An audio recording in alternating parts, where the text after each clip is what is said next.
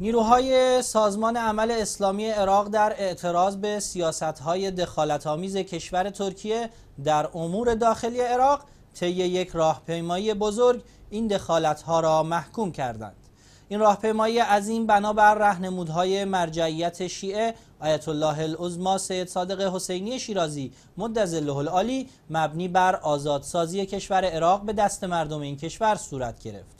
شیخ علا الاسدی مسئول امور عقیدتی سازمان عمل اسلامی. در این باره گفت سازمان عمل اسلامی با توجه به تأکیدات آیت الله العظما شیرازی درباره ضرورت آزادسازی عراق به دست مردم آن بدون هیچ گونه دخالت کشورهای خارجی رژه بزرگی به منظور مخالفت با دخالت ترکیه در امور کشور عراق برگزار کرد.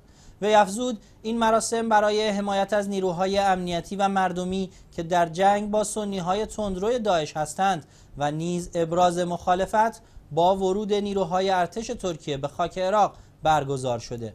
چرا که ما قادر هستیم به تنهایی داعش را از خاک عراق بیرون برانیم.